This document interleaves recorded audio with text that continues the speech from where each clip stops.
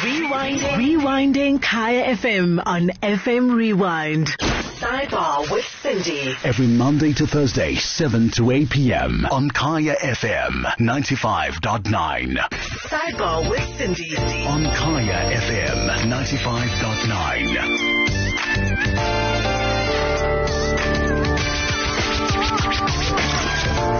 Two minutes past seven on KFM 95.9, home of the Afropolitan.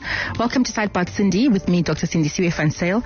This evening we're speaking about divorce. This is the third part of the Talking Divorce series. And tonight we're asking, how deep does divorce impact children's well-being? Medical issues, sex and family, finance, parenting, and emotional development. Sidebar with Sindi. With Sindi. Every Monday to Thursday, 7 to 8 p.m. on Kaya FM 95.9. Kaya FM 95.9, home of the Afropolitan. Sidebar Sindi with me, Dr. Sindi Van Zyl. You can listen to us on channel 861 on DSTV's audio bouquet if you are out of Gauteng. Um, or you can listen to us on kayafm.co.za and listen live. So this evening's topic is talking divorce. This is the month of July. And throughout the month of July on Wednesdays, we're talking about divorce. And i have been chatting to um, Thabang Tlaka. He's a clinical psychologist. In the first week, we spoke about um, what, what, what could be leading you to decide to divorce. And and then last week we spoke about divorce and finances. And tonight's show is about divorce and the impact it has on children. So I have Thabang back in studio, which is awesome. But we're also joined by um, Mngadi. She's an attorney and we'll be covering all the aspects about uh, involving children and divorce. So before we take your calls on 086 959 I'd like to welcome my guests to the studio. Uh, good evening. Uh, evening. Yeah, that's that's Thabang and So as I said, we're taking calls on 086 959 On social media, the um, hashtag is Sidebar Sindi and the other hashtag is Kaya FM Talk. So as a marriage divorce uh, dissolves, as a marriage dissolves, some parents find themselves asking questions like, um, should we stay together for the kids? Um, and, and, and I think a lot of people actually stay together for the kids because they're concerned by the impacts that the splits may have on the children. And um, in South Africa, in May 2018, Stats SA released stats that re- that reported that black children are the most affected by divorce. I think in the previous weeks, some of the stats that we have read have shown that the, there's a there's an increase in the in the number of black couples that are splitting up as compared to previously. There's a time when they were the, the lowest number or, or near the bottom, but now yes. it seems as if black couples are, are splitting up more.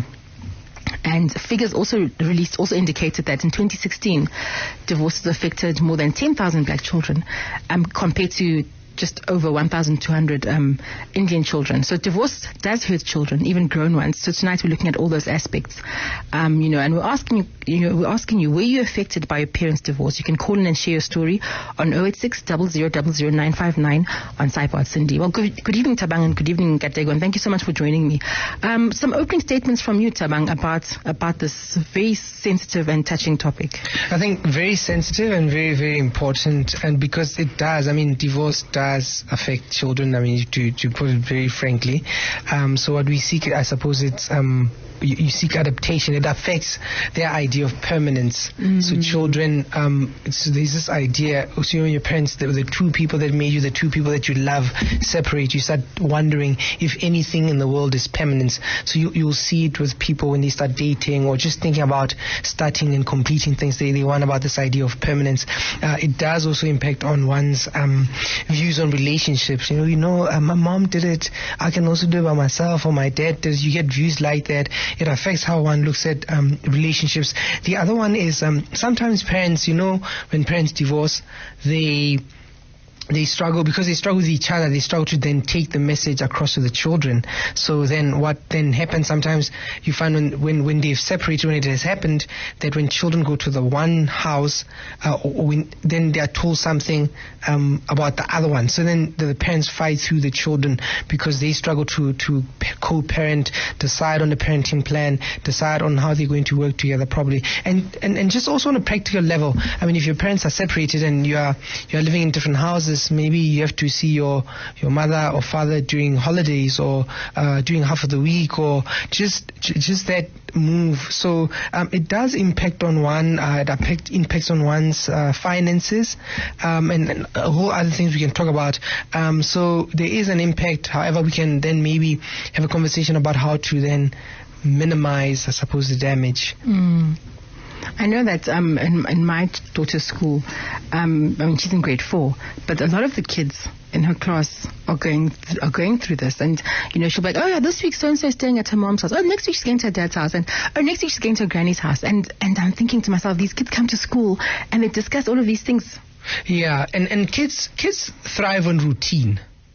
So uh, one of the best things that gives a child balance. It's just a, a, a, life that has routine. I wake up at this time, I eat at this time, I go to school, this is what I do. So that, that does an amazing job for children in their thinking and how they plan their lives, how they regulate their emotions.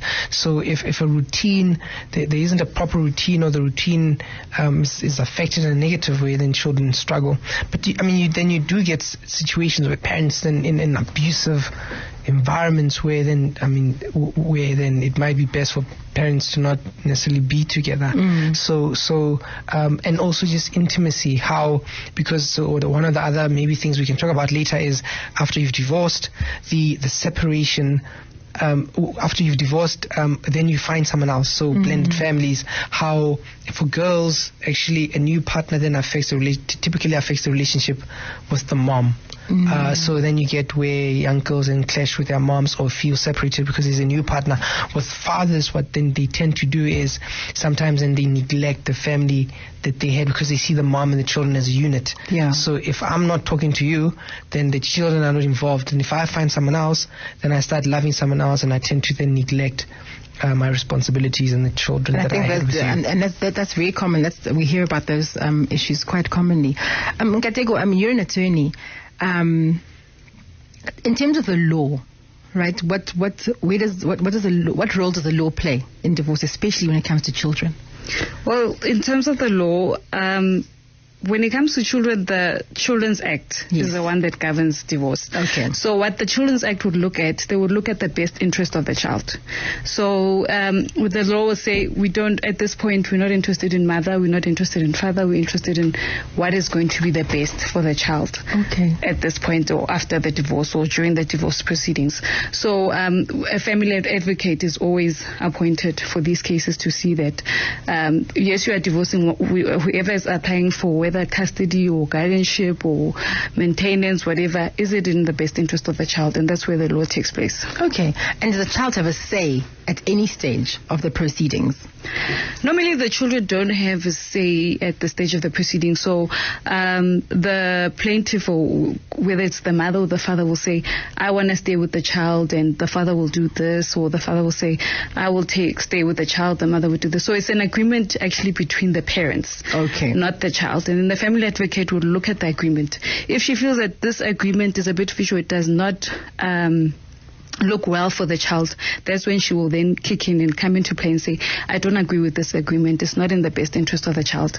But generally, it's just an agreement between the parents. Okay. And say, say for example, I'm nominated as the parent that it's based if the kids stay with me, but I don't want that. What what would the courts do in a case like that? It's it's not a nomination per se. So, for instance, if you then are getting a divorce and you are instituting the divorce, you will then obviously suggest where you want the child go. So you will say, I'm suggesting that the child stays with me, or I'm suggesting that the child stays with uh, the the father, or whatever. So it's a it's a decision that the parents make if then that they can't make the decision, that's when the family advocate come. So it's not necessarily that someone nominates you guys, mm, the parents themselves, yes, come together, talk, and if then that they can't agree, which it, it really happens, the family advocate uh, steps in. Okay. And would extended family ever be called in? Like, has there ever been a case where the kids must not go and say Gogo or with an aunt or an uncle? It happens, but hence we're saying that the best interests of the child mm-hmm. come in. So uh, Gogo can come in and say, uh, I'm applying to have guardianship of the child because it's not safe for the child to be with the mother mm. or the father at this particular because of okay, the issues, of the issues, the yeah. yeah. structure. So it, it, it has to go then to the court to see is it really in the best interest of the child that the child is neither with the mother nor the father, but with the grandparent. Okay, so if you've just joined us, you're listening to Nkateko Mngadi. She's an attorney. And I also have Thabang Tlaka, a clinical psychologist in studio. And we're speaking about divorce and the impact it has on children. This is part three of the Talking Divorce series that we've been running um, every Wednesday during the, the, the month of, of July. And we know that divorce hurts children. We know that divorce also hurts grown children. And um, there are many adults out there that um, are still suffering the repercussions of of having watched um, their parents um, divorce. Thabang, coming back to you, um, the idea that you know I must stay with this person for the sake of my children.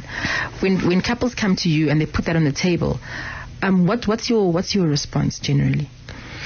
I don't, I don't know if that, that's a good thing because I mean you don't want to live a lie. Um, you know, children are very sensitive. Mm. Um, I mean, if there's no love in the home, they can see it, no matter yeah. how much pretending you do. Yeah, because they way, can see. Yeah, the way you're going to behave and relate to one another, and, and, and I mean, you've you've we, I've had parents who've said their children have told them, if this is what a relationship is, then I don't want any of it. Mm. Because they can pick up that, but this house is cold. It's not a home. That you, you, the two of you, um, the way you relate to each other, it's not really the best way. Mm. And children, I, I know children have told their parents, but why don't you guys just separate? Because we can see that you're not happy. So, um, you can't run a, um, a, a, sham of a, of a relationship and, and expect the children to, to, to pick it up. Of course, there are practical considerations which people think about. You know, if we separate that, there are people who are separated, still live in the same house because they, they, they think about the house and the school fees and mm-hmm. it works practically. So we're not together, but um, maybe even if we stay in the same house, you know, people do people do have some arrangements like okay. that. So, so um, but. Uh, but I think for me the, the, the idea is this: it's it's not. Um, you can't pretend um, in front of the children um, that something is working when it's not. They, they, will pick it up, and that will cause all sorts of conflict in, in inside them. I think if you're honest, if you have open, honest, frank conversations about what's going on, and then you can have a practical discussion about how you go, how you guys are going to then maintain this. But I wouldn't recommend that people live a lie uh, for the sake of the children, because what normally happens is that uh, people pretend, and then yeah. the child goes to varsity and then because then the last one is in varsity, then they separate. Yeah, so the, the nest yeah. is empty. Yeah, the nest is empty. Then everything just holding yeah. on until you left, and then then somebody in the Africa. I've worked at university as well, so you see that a lot. That I don't understand. My parents have been together for so long, and why they're breaking up now. But then I'll generally say they were waiting for you sure. to, to, to, leave finish. the house to finish, and now they, these okay, the last one is now gone. So now we can separate. And, and in terms of disclosure, Thabang. so how much is too much information to tell a child, or do you think you know both of you should sit down and just just tell the truth of what's going on? What is what is too much information? What is too little information? Yeah, well, I mean, you can talk to children about anything, um, uh, but you, you have to look at where they are, their ages. So children understand different things at different ages. I think it's always best if the two of you uh, have that conversation with your children because it's important for them to see that uh, you are agreeing on something, that it's not their fault. Because the other thing that children do is they think that you are separating because of me, uh, because I've been a bad child, and you are separating because of me. And so that needs to be communicated to them by the two of you, um, so that they, they are not forced to also pick sides and they can ask the questions that they need to ask. Um, that um, so you you guys maybe don't love each other anymore. Are you fighting? Um, is it my fault? And so I think if the message, if the two adults have a common understanding in with regards to what is in the best interest, interest of the child, they can then then communicate that together with the children. Because it's also important for later on, if you have a, a parenting plan or how you're going to decide to raise the children together, that you have the same ideas. That they don't go do one thing in one house, they go oh, and do something yes. else in another yeah. house. Yeah. Because then then mommy's mean and because dad. she always keeps the rules, and when you're with dad is always fun. Mm. So you, you do it together and you communicate the message together and you let the children ask the questions but you tell them you use the language that that's that's understandable at their language. And it's not a, a once off conversation. Mm. it's a conversation that happen often. So as they grow you keep uh, enhancing and, and deepening the conversation and giving them more detail. Uh, but you, things like um, we are separated because your dad had an affair or Mm. things like that. So you shouldn't. The children shouldn't carry things that they, they, their their minds can't really handle. I see. Yeah. Yeah. And, and what about gifts? And uh, you, you mentioned the spoiling. So one house there's strictness, another house there's.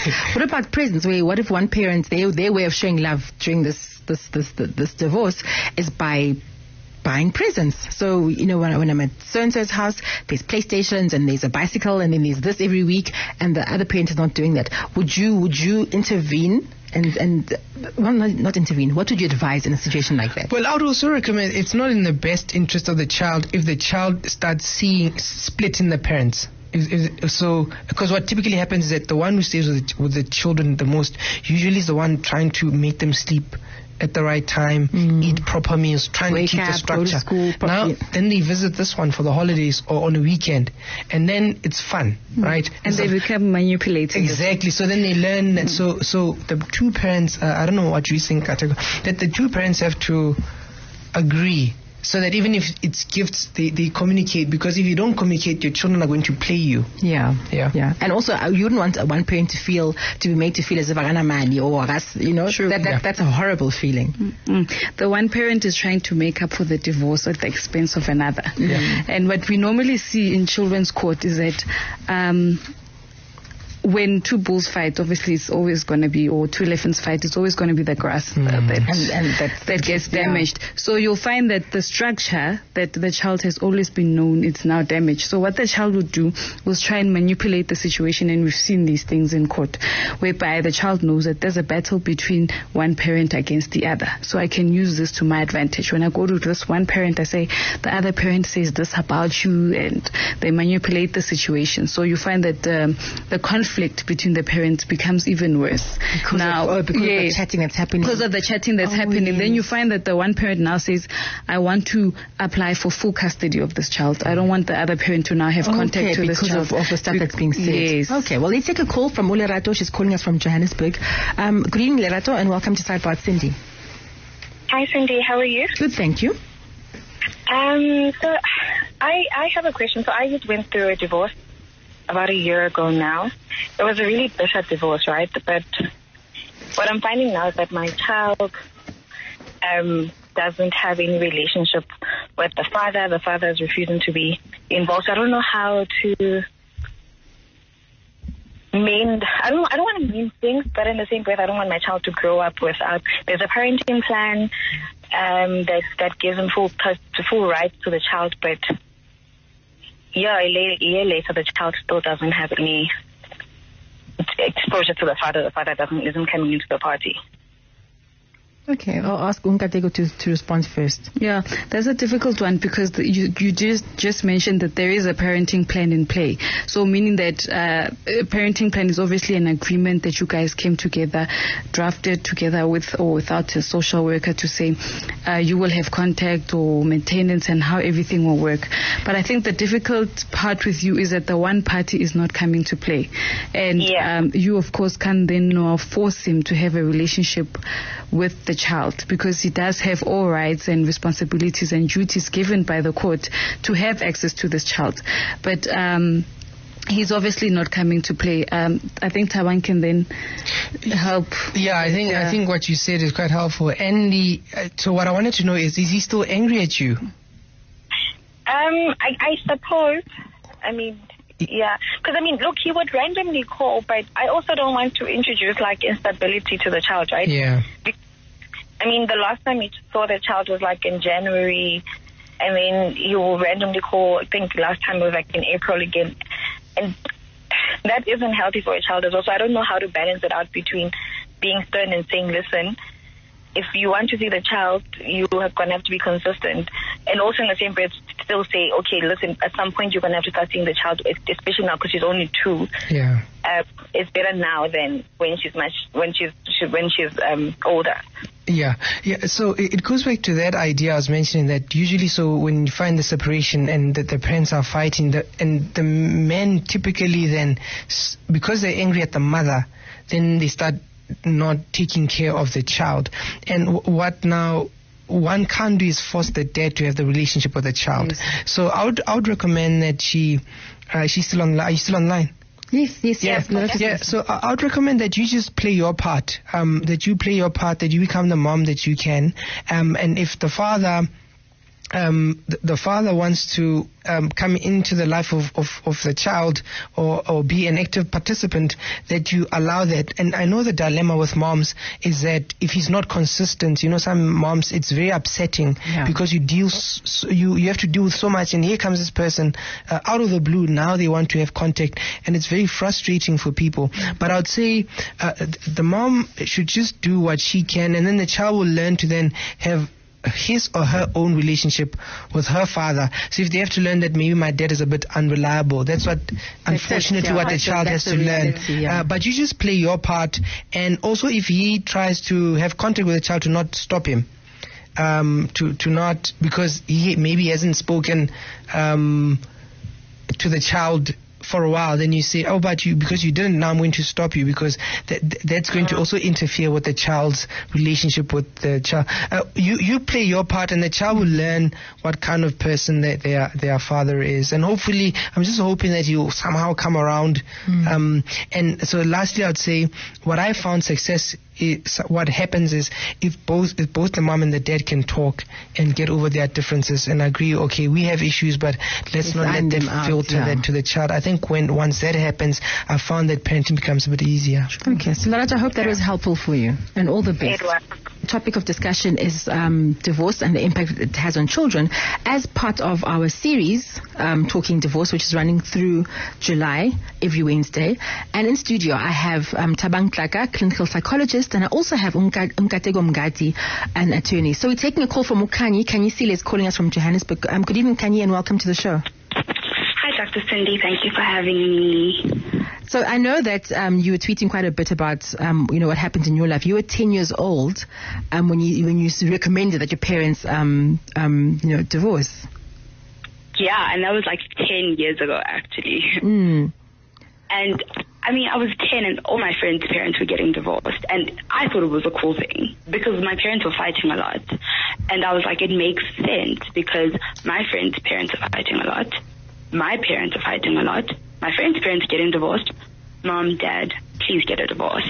And my parents were actually very taken aback because we had never discussed divorce. Mm. And they had assumed we would, hadn't seen them fighting. Until one day I was like, please, I'm begging you, get divorced. Mm. And like, no, we're going to work on our issues. And hectic, they didn't.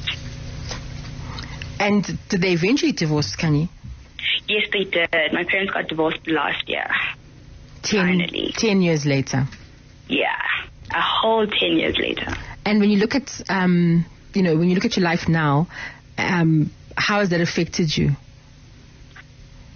I think personally, I always tell my mom that I don't want to get married because of the image of marriage that I've seen from my parents' relationship. Like, as um, I think the psychologist was saying earlier, Ubuti, there are kids who tell their parents, Ubuti, no, see, this image of marriage that I've seen, it's good. I'm like in trend with marriage. And so for me, that's how I've become now. I just, I despise marriage. I, I refuse to get married. I can't. And relationshiping, how how's that going? It's weird because I don't trust men because I the man I trusted, my dad, was able to betray my mom, and so for me it's very sketchy. Yeah, and Thabang had mentioned that. And do you feel, had it happened, okay, had the divorce happened 10 years ago when you're 10 years old, as, as opposed to now when you're, tw- when you're 20, would the impact have been less had it happened sooner? Um, what do you think? That's the last question I'm going to ask you before we move on, um, Kanyi. Yes, definitely. I think I would have been okay. I would have like gotten used to it rather than to see them pretend ukuthi things are okay, and when things aren't okay, and then dra- drag on the process of them like finally separating. So yeah, it definitely would have been a lot different Had it happened earlier? Had it happened. Yeah. Okay, well, thank you so much for sharing that, and also thank you for sharing your tweets um, on the timeline. Thank you for having me. Great. So we have Sydney calling us from Johannesburg. Good evening, Sydney, and welcome to the show. Good evening. Uh, I'd like to ask uh, a question here. Yes. I'm currently going through a divorce, a very painful experience. But now, three children down the line, the two older ones, they left with the mom. Also, the, the last one, the, the, the younger one, who's constantly with me on weekends and sometimes during the week, but under very harsh conditions from the mother. Now, I was told by the magistrate that the law of custody to to fathers has been thrown out of the window. This was last week in Kabani, Rustenburg. Now, I hear you suddenly saying the parents have uh, the right for custody to to share the children, I may, if I may say it that way.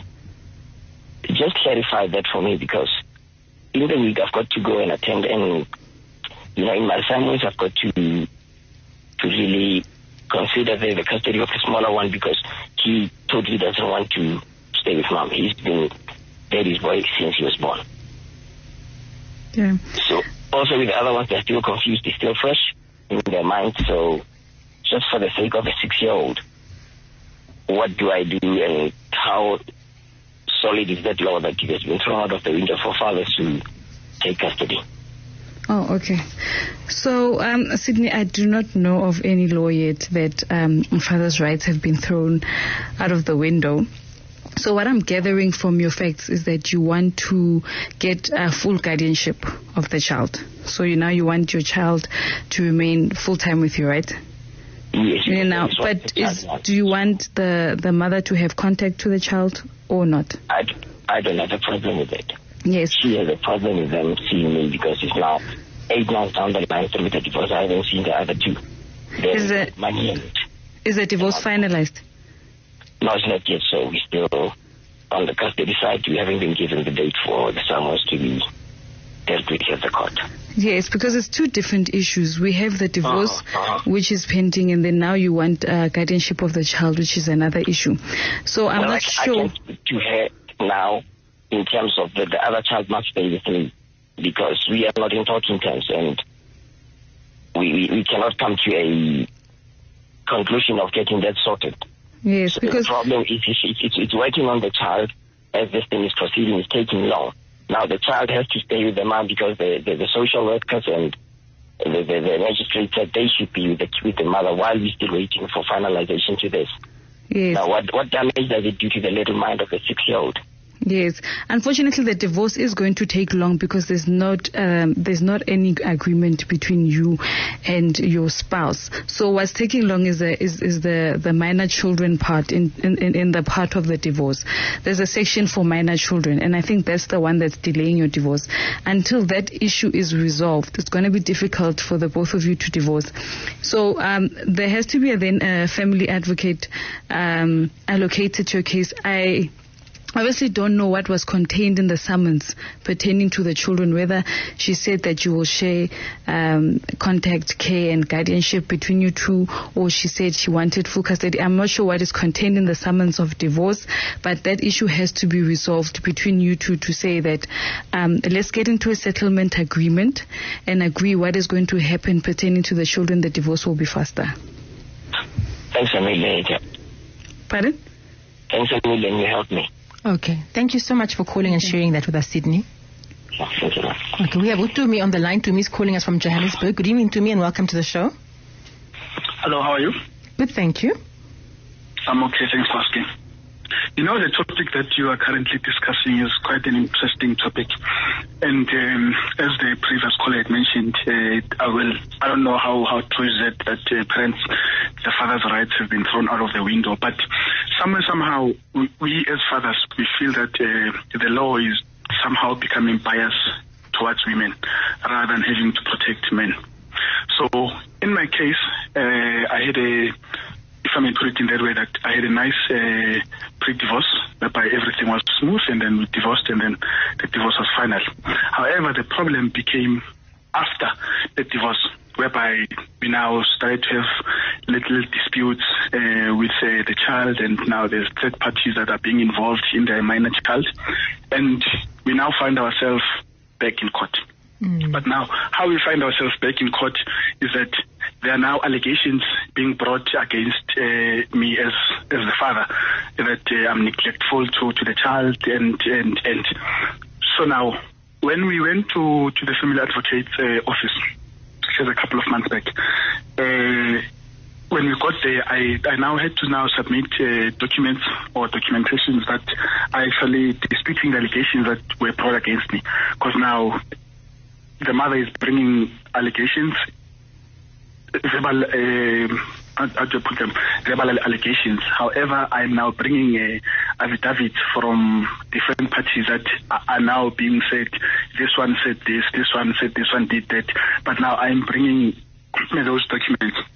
And I just wanted to to ask, how uh, is in, in in in the case of concluding a report, how um, is the family advocate and the the social worker going to handle a situation whereby the, the allegations brought in court are now based on in lies?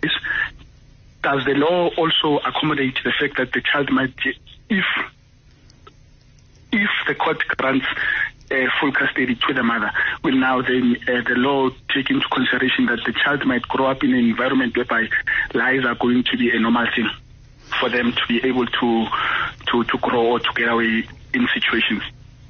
Okay. Okay. Because one last uh, thing, because if you look at it, sometimes men get arrested for for rape. Mm whilst there's nothing that had happened in that sort. Someone was taught how to lie from a tender age, and now the mind gets damaged throughout their entire lives. Okay. Um, I think we need to go back to what I said at the beginning that the court looks at the best interest of the child. And I think um, what happens is that uh, there's a misconception out there that uh, the court is always on the mother's side. So the fathers sit back and don't do anything about their, their situation. But the court is always fair in that they take into account everything that comes into play. They take into account the uh, evidence granted by the one parent, the evidence granted by the other parent, and of course all the reports by the clinical psychologists, family advocates, social workers, whoever needs to come into play that has interviewed you, your ex-spouse, and the child, and then they take in all of that to say that what is in the best interest of the child, whether to stay with the mother or to stay with the father. And the court will um, always look will, would won't just say that um, if we deny contact, how will it affect the child? That's that's where the family advocate and the social worker and the psychologist come into play. They make reports to say that how it affects the child psychologically or socially and emotionally. If then the child is not in contact with one parent and is only in contact with the other, if full custody is given to one parent and the child can't see that, so everything is taken into account when deciding what is what is in the best interest of the child. Uh, but now, uh, how do you now decide after just one one interview? But it, it, it, it, hasn't been decided upon, right? And that well, interview, I, would like to believe it from a psychologist, maybe Thabang can help. It's an extensive um, interview with the child and with the mother and with the father and comes and draws a conclusion from that. I do not know as to um, what happens in those sessions with psychologists and family advocate, but um, from those extensive interviews, they then make recommendations. And remember, family advocates and social workers only make recommendations. It's not that what we what they say will be taken. It's just a recommendation from their side to say this is what we feel from the interviews that we've done would be would be in the best interest of the child, and then it's up to the court to then decide, looking at all the factors, what is then best for the child. Okay. Okay, Jimmy, are you happy with that? Um, no, no, I'm, I'm, I'm okay. It's a sufficient uh, response. However, now the concern that I, I had from my side was that if, for, for argument's sake, we, we now only have just one session, one uh, 45 minute session whereby it's a, it's a back and forth between the father and the mother, and considering that the child is a minor, obviously the child will not be interviewed, but now it's what the mother says or the father says. Out, out of that 45 session, uh, 45 minute session, can can you really determine where the best interest of the child lies? Okay, to me, you know what we'll do? I'll take your details and I'll give your details to U, Thabang and to um, Nkateko and they'll be in touch with you because we'd like to take more calls. We'll definitely get back to you because I, I, can see that this is something that you need, um, you know, you need to get clarified properly, properly. Okay. Okay, then. Thanks for listening. All right, cool. Thank you. Before we take more calls, um, Anonymous says, I'm 26 and my parents are separating, still very new. I moved out of home almost four years ago to live with my husband. I never really had a relationship with my dad after moving out. Whatever communication we had was forced on by mom. I'm the oldest with the, and the youngest is 10. I'm trying so hard to be the mediator self-imposed, but that's difficult considering that my dad and I only spoke through my mom. Should I force a relationship with my dad for the sake of mediating? So just a quick response for Anonymous. She's listening and this is what she's going through, Thabang. I mean, she can try and have a relationship, but not necessarily force it. She can do as much as she can, but if the relationship is not working, then she can leave it at that. But I think a relationship is always worth trying. Uh, if the other party is willing to work on the relationship, then yes, then you can have something. But if not, um, then, then they can just leave it alone. But children, it helps to, to develop your own relationship with your own parent, even, even as an adult. Yeah, well, yeah. thank you for that. Okay, so taking calls. So before we take calls, Nkateko had a comment. We have the last caller about about the children and the courts and moms and dads and the mis- the misconception that moms generally get get um, um, custody of the kids. Just to cor- just to clarify and make sure that everyone understands how custody works. Yeah. So what I was saying is that um, because there's such emotion involved in in trying to get what um, the one parent would want, of course, in terms of the child. Um, emotions come to play. So um, one parent would feel that the court is not taking their side and taking the side of the other parent. But as I explained, the court will always look at all factors involved mm. and decide what is in the best for the child. It might not be the best for you as parents, but the point of children's court is not to look at what's best for the parents, is to look at what's best for the child. And um, if the parents could, as Thabang said earlier on, could then come together and agree that um, for for we, okay we have separated we don't get along anymore but for the sake of the child we should do one two three then you are also trying to act in the best interest of the child. But the moment that two personalities start clashing uh, it's, it's, it's between now the parents and nobody looks at the child anymore. And the court is trying to step into those shoes to say that I'm going to think on behalf of the child and not on behalf of the parents. So it's not that they're taking one side over the other. They're looking at the current situation, current um, setup, and seeing what is it that, uh, how is it affecting the child and what's going to be the best for the child. Okay. So if you've just tuned in, you're listening to Sidebar Sindi with me, Dr. Sindi van Zyl. I'm in studio with um, Thabang Tlaka, clinical psychologist, and Nkateko Mngadi, an attorney, as we talk divorce and children. So we're going to take calls. We've got four calls lined up. Please keep it short so at least Thabang and Unkatego get a chance to respond to each of you before we call it um, a night. So starting with Lebogang, who's calling us from Kempton Park. Lebogang, good evening. Welcome to Sidebar Sindi. Good evening. Thank you very much. Um, yes, my question, I had a friend basically um, whose parents um, divorced, and then after that, that dad um, ended up uh, going into a same-sex uh, relationship. So I've noted that basically, like as we're talking now, there's so many gender roles, and I hear some people say, you know, uh, I, I can't be a man now because the man in my life, my father was like this or that, and then they can't go into a relationship. So I wanted to ask the clinical psychologist over there to just, if you could just give us some insight on any case you had maybe regarding like the psychological impact of a child who's maybe whose parents were in a same-sex relationship and have divorced. Um, yeah, because when I saw my friend uh, after that, I wasn't sure how she was taking it. So I just thought maybe you could uh, give me a bit of insight. Okay. Um, so I suppose, I mean, if I am understanding the question um, generally, what I would say it would be, you remember when, when people divorce, uh, people respond to something traumatic, so it, traumatic in different ways. So when, when, when the two people that you care about separate, they are now a myriad of responses that a person can have. Um, so if some people would would try and make relationships work. Some people wouldn't want relationships. Some people would go into heterosexual relationships. Some people would go into homosexual relationships. Um, um, or it's just how a person um, responds, and it depends who the person is and their own orientation. So we can't say just because a person um, parents um, divorced and the person would, would then go and choose a certain um, kind of relationship. But it, it just depends on who the person is and what resources they have and how they then, I suppose, decide to deal with the trauma of the relationship. There is a trauma, but uh, so I suppose the psychology would be this.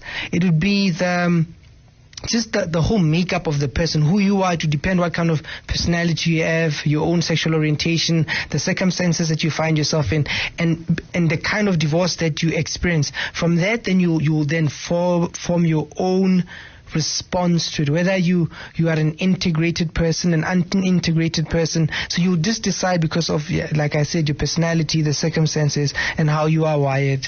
Okay, so thank Lebogang, you got that. Yes, yes, okay. Yes. Okay, thank you so much for calling. We go on to Anna. She's calling us from, okay, from around. Anna, thank you so much for calling.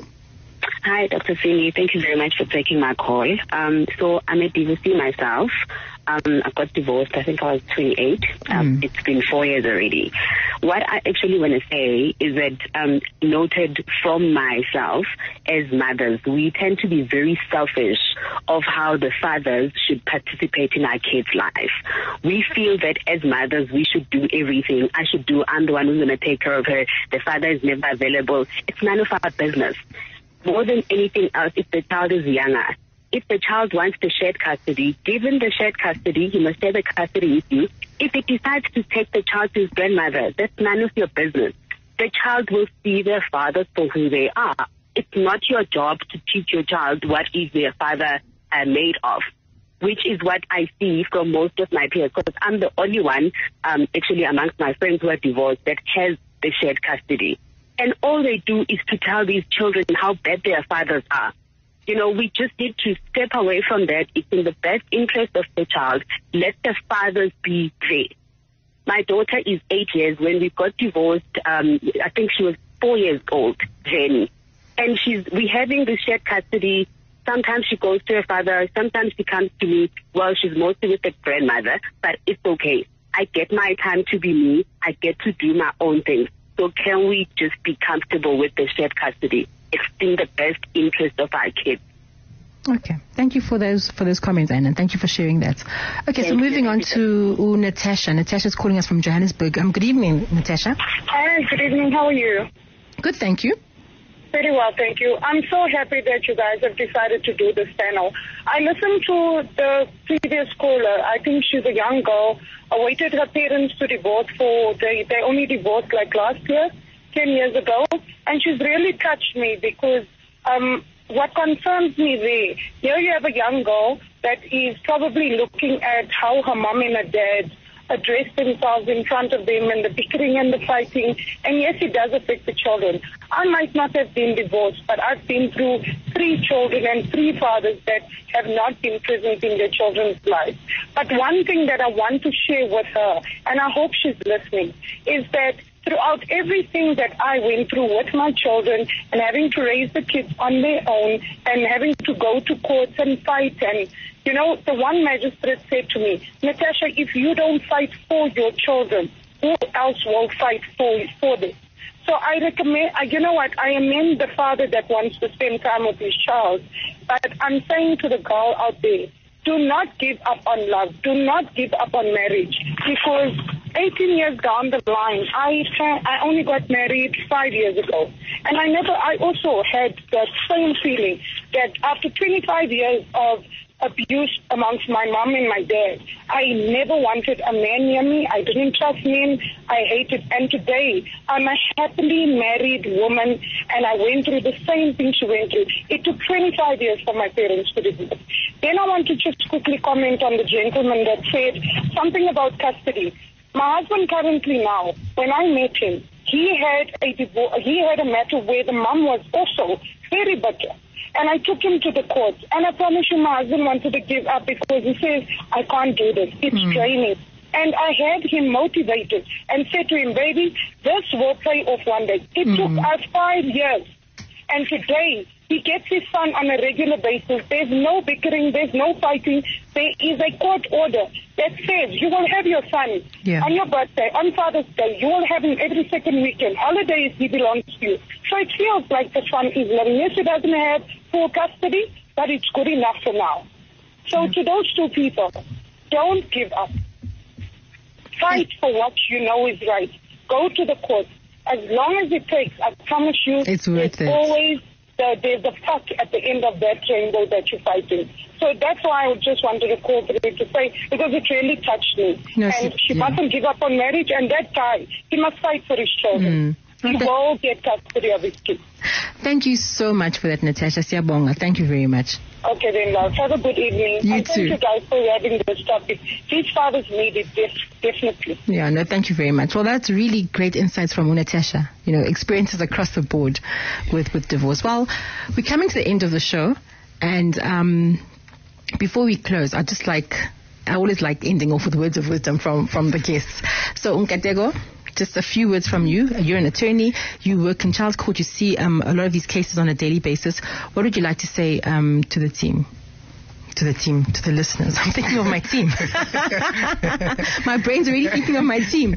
To the listeners.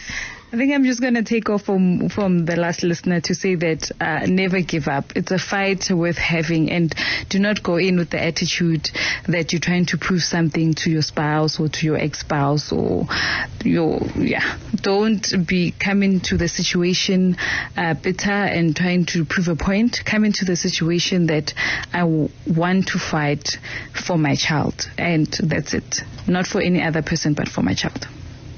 Yeah, I think what, what, what Natasha and Nkateko said, I think, uh, you know, life, life is hard and we don't need to do things that make it a bit more difficult. So if we've been through difficult situations, let us uh, try and, and, work out our situations in a way that it helps us move forward. So let us not give up. So the word I suppose would be fight. Um, just fight for what is right, what is fair, what is good for you, your your ex spouse, and the children. That when when things work together, then you you all be healthier and better in the future. And and finding help. Um, Yeah. Before we go, where where's the where's the first port of call? If someone is, is, is, is considering divorce, or someone is going through it and they're stuck, where, where where's the best place to, to get help? Um, not advertisement, but um, an attorney would help Yeah. in getting help if you're going through a divorce. Merely because if you have two attorneys involved, um, they help in the process of mediation, trying to make the divorce easier and faster for you without, um, because attorneys are not emotionally involved in whatever is going on. So uh, they can mediate uh, f- between you guys and make the process faster and easier. And in terms of anything concerning the children, you can always approach any magistrate court. It, it has a children's court for guardianship, for contact, and uh, there are social workers there available to help you and to assist you in getting uh, your rights. Okay, and where would we find you? If someone wanted to speak to you specifically, where could we find you? Yes, I'm from Pelam Gadi and Associates Incorporated is a practice situated in Kempton Park. You can find us on our website on Pelam Gadi and Associates Incorporated or call us on 011 395 5012. Okay, so 011-395-5012. Okay, we'll make sure we put that out on social media.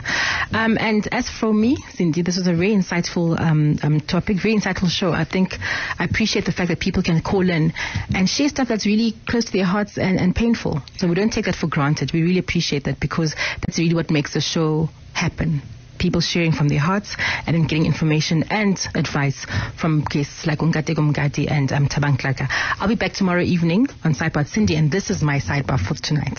Sidebar with Sindi. Every Monday to Thursday, 7 to 8 p.m. on Kaya FM 95.9. Rewinding. Rewinding Kaya FM on FM Rewind. Visit kayafm.co.za for more.